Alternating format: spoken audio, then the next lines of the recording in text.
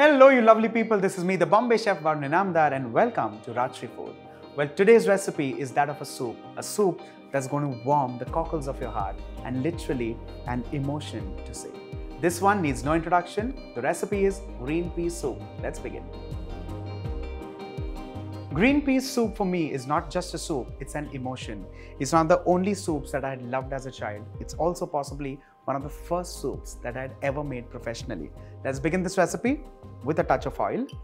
You could also use a little bit of butter just to kind of make it nice and rich, but really optional because it's going to be loaded with cream. Classically, in French, well, that's a cuisine that all of us always have learned in uh, hotel school. This soup is known as potage Saint Germain. Well, Saint Germain classically means the inclusion of peas. So whether it's a consomme or a cream soup, it's always Saint Germain. So let's make the Saint Germain soup in a very different style. Next ingredient, cloves of garlic, just roughly bashed.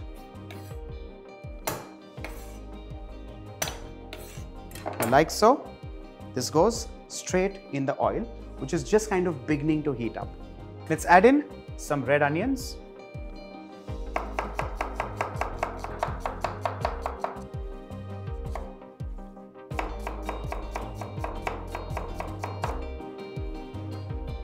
Let's add these as well. With this, I'm also going to add in a little bit of white onions. When I say white onions, I mean the bottoms of the spring onion or the bulbs.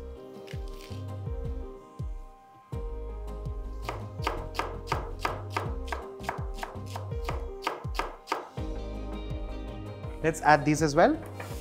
Let's saute this on high flame for like a minute or so. We're not intending to bring any color in the recipe. It's only to ensure that the onions are just cooked.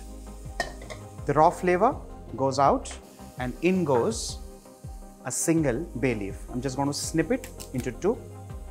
And with this, I'm going to add in a very different kind of an ingredient and this is ajwain or carom seeds.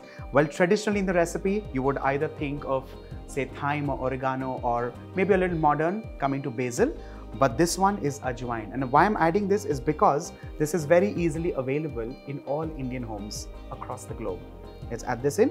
Just a touch of it, just to bring in that little thymol family flavor, which is the identity of thyme. Let's stir this well. And with this, I'm going to add in peas. Now these are of course blanched fresh green peas. You can also use frozen by all means. While they're fresh in season, make the most of green peas. Let's stir this well. And next I'm going to add in salt of Zakanda. I'm sure you've heard a lot about salt of Zakanda. If you've heard about it from anywhere else, apart from this, do let us know in the comment section. Well, this is salt of Zakanda, transparent, a little bit on your wound, and you'll see the dance of Zakanda. There's nothing like this.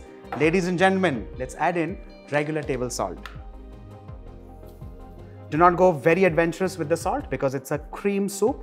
It's just subtly there. Let's add this in. And of course, this can also be adjusted later. So for now, I think this is fine and good. Let's stir this well. And to this, I'm going to add in a cup of water. Let's stir this well and allow this to kind of get cooked on high flame. This is going to take some around 7 to 8 minutes and while that's happening, let's add in two more layers of flavor. The first one being coriander, fresh coriander leaves. And along with this, I'm also adding in the spring greens. If you notice, I added the whites earlier while sauteing.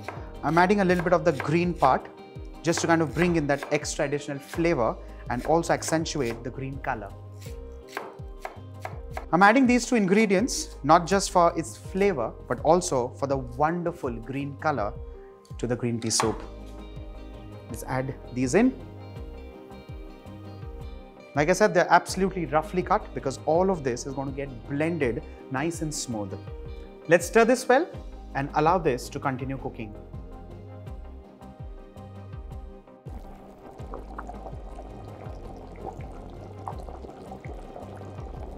The peas are well cooked.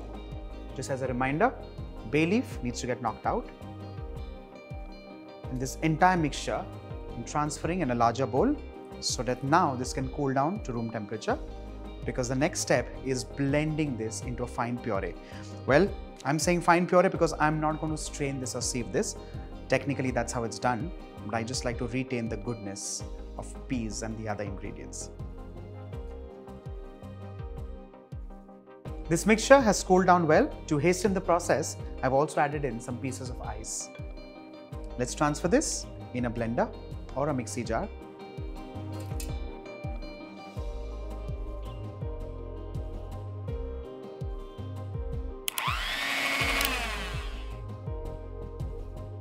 The peas are finely ground and ready. Let's have a quick check.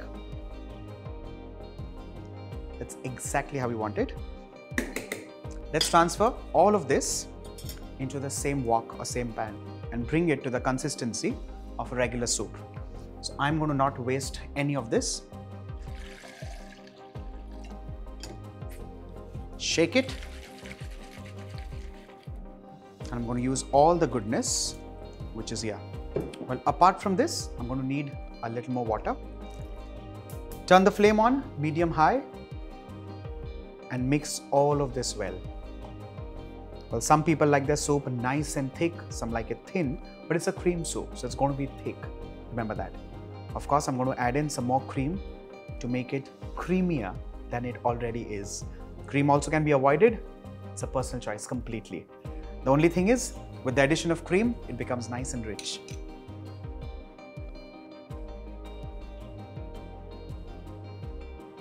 And also with this, I'm going to add in some freshly cracked black pepper. A quick few stirs a quick few boils, and your cream soup is done and ready. Time to plate this now.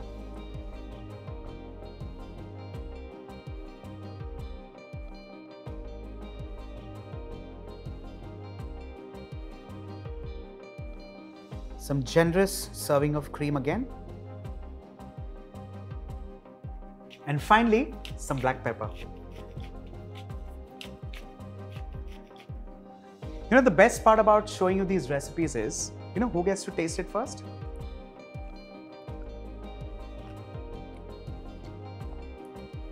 Wholesome, filling, creamy, and wonderful. Do you still want me to tell you what to do next?